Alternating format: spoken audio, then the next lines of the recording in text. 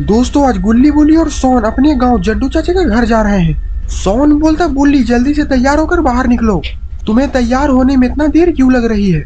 गुल्ली बोलता, बुल्ली, तुम कितना भी तैयार हो जाओ, लेकिन तुम्हारी शक्ल तो चोर जैसी ही लगेगी। गुल्ली की बात सुनकर सोन हंसने लगता है। सोन बोलता हाँ गुल्ली, तुम बिल्कुल सही बोल रहे हो। बुल्ली तो मुझे चंबलपुर का डकैत लगता है और तभी बुल्ली बाहर आ जाता है। मतलब तो एक मिनट रुको। तुम खुद देखो, ये देखो।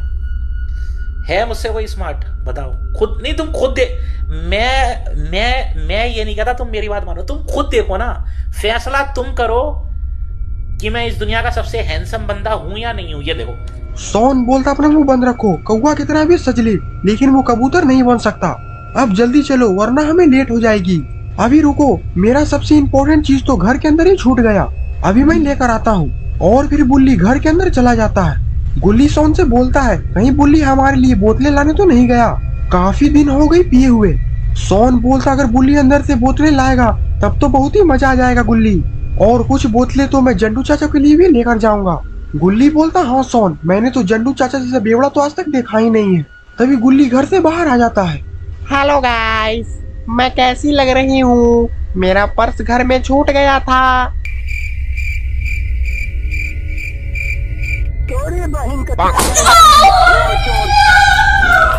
सोन बोलता अब ये कभी भी लड़कियों जैसी हरकत नहीं करेगा। गुल्ली बोलता, पर हम लोग जल्लू चाचा गाँव जाएँगे कैसे? जीप में पेट्रोल तो है ही नहीं। सोन बोलता, इसकी टेंशन मत लो गुल्ली, मुझे पता है कि जीप में पेट्रोल नहीं है। इसीलिए मैंने पहले ही ऑनलाइन बस बुक कर दिया था, और वो बस थोड़ी ही देर में आती ही होगी, और तभी वो बस वहाँ पर आ जाती है।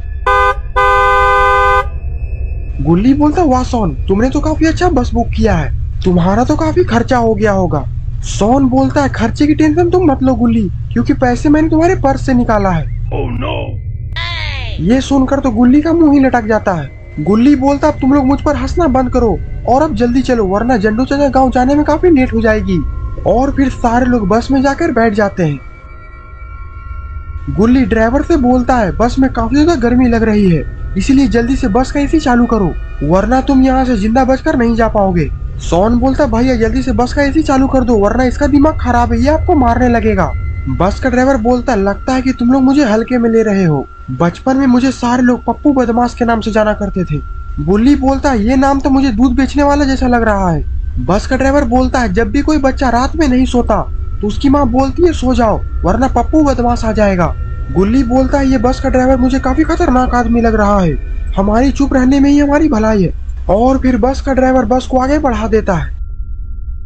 सोन बोलता है, मैंने सुना है कि जिस गाँव में जन्नू चाचा रहते हैं, वो गाँव काफ़ी ज़्यादा वीराना है और उस गाँव में अजीबो गरीब घटनाएँ होती रहती है।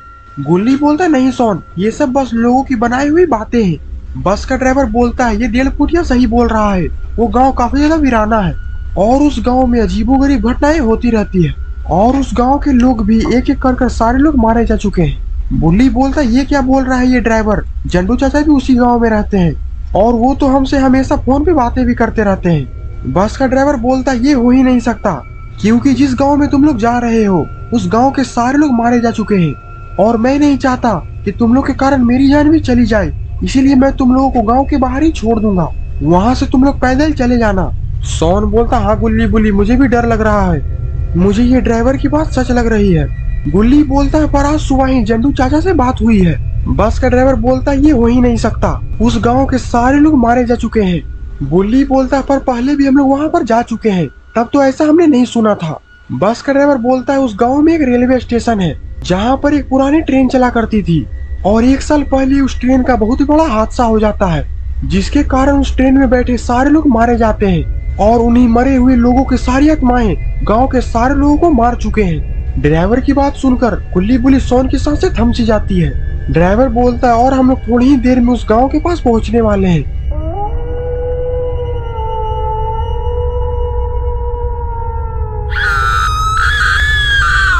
वो ड्राइवर गाँव के बाहर आकर अपने बस को रोक देता है। बस का ड्राइवर बोलता है, अभी भी तुम लोगों के पास वक्त है। तुम लोग अपने घर लौट जाओ, वरना तुम लोग भी इस गाँव में भूत बनकर रह जाओगे। सोन बोलता है, तुम लोग इस बस ड्राइवर की बात पर यकीन मत करो। ये बस हमें डराना चाहता है, क्योंकि मैंने इसे किराया कम दिया था। और अब मैं तुम्हें एक कूटी कौड़ी भी नहीं देने वाला। अपना सड़ा हुआ मुँह लेकर यहाँ से निकलो। सोन की बात सुनकर बस ड्राइवर हंसने लगता है। गुल्ली बोलता, अभी भी ये अपनी डरावनी हँसी से हमें डराना चाहता है। अभी मैं इसे बताता हूँ। और फिर गुल्ली बस ड्राइवर के पास जाकर घूसों की बरसात कर देता है। गुल्ली बोलता, अब चलो गुल्ली और सोन, अब हमें यहाँ से पैदल जाना होगा। और फिर सारे लोग उस बस से नीचे उतर जाते हैं। और एक और फिर से बस ड्राइवर हँसते हँसते बस लेकर वहाँ से चला जाता है। गुल्ली बोलता, हम लोगों ने पिछले तीन सालों से जन्नू चाचा से मिला नहीं है, और जन्नू चाचा हमें देखकर काफ़ी खुश होंगे। चलो, अब हमें जल्दी से जन्नू चाचा के घर चलना चाहिए। और फिर सारे लोग आगे बढ़ जाते हैं। लेकिन शायद गुल्ली बुल्ली सोन को पता नहीं है कि ड्राइवर बिल्कुल सच बोल रहा था।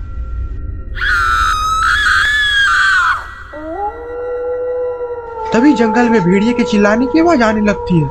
गुल्ली बोलता है, कहीं हम पर भेड़िया हमला ना कर दे। बुल्ली बोलता, गुल्ली, तुम इसकी चिंता मत करो। मैंने बचपन में बहुत सारे भेड़िया को मारा है। भेड़िया तो मेरा नाम सुनकर ही डर जाता था। सोन बोलता, बुल्ली, अपने पीछे देखो। तुम्हारे पीछे तो एक बहुत ही खूंखार भेड़िया है।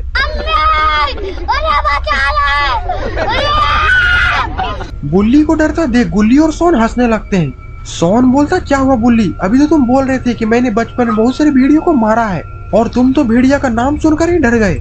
बुल्ली बोलता है, मैं तो बस मज़ाक कर रहा था, तुम तो सीरियस ही हो गए। गुल्ली बोलता है, तुम लोग शांत हो जाओ, इस जंगल में आखिर का ट्रेन की आवाज़ कहाँ से आ रही है?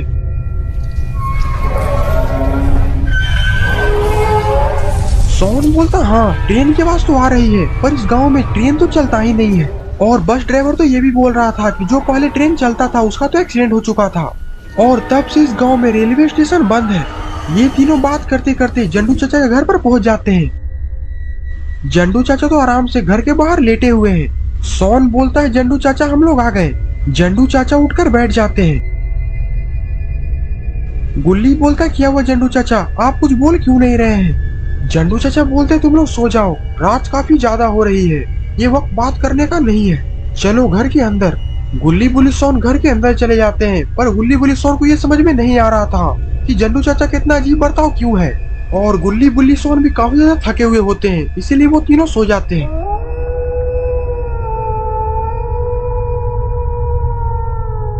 तभी आधी रात को एक बार फिर से ट्रेन की आवाज़ आने लगती है।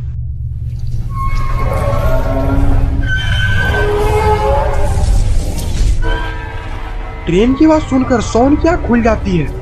सोन बोलता है, ये आवाज़ तो शायद इस घर के बाहर से आ रही है। अभी मैं बाहर जाकर देखता हूँ। और फिर सोन वहाँ से उठता है और घर के बाहर चला जाता है।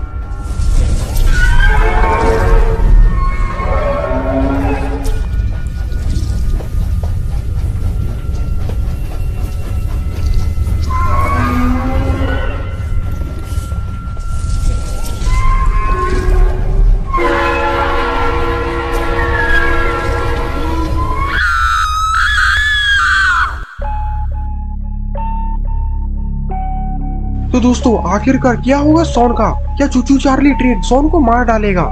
या फिर गुल्ली बुल्ली सोन को बचाएँगे? ये सब हम जानेंगे इस वीडियो के पार्ट टू में। अगर आपको ये वीडियो पसंद आई तो वीडियो को लाइक करिए और चैनल पे नए हैं तो चैनल को सब्सक्राइब करना मत भूलिएगा।